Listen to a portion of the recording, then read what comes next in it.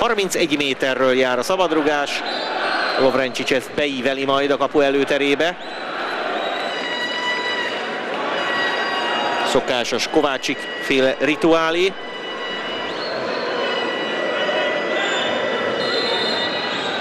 Lovrencsics hosszú oldalt keresi.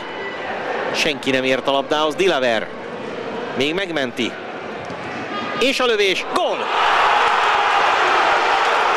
Kiegyenlít a Ferencváros. Egy-egy. Teljesen váratlanul a kapu elérugja a labdát Gyuricsin, és eddig nem volt szerencséje. Most viszont a labda besuhan a kapuba. Egy pattanást követően. Egy-egy. Meglett az eredmény az Ostromnak. Itt Dilaver visszateszi a labdát. Juricsin pedig onnan ellövi.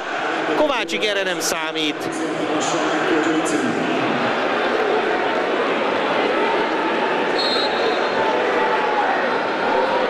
Nem érdemtelen a zöld-fehér csapat egyenlítése. Eljön Fecesi mellett a labda, semmit nem látott Kovácsik, csak azt érzékelt, hogy mögötte van a labda.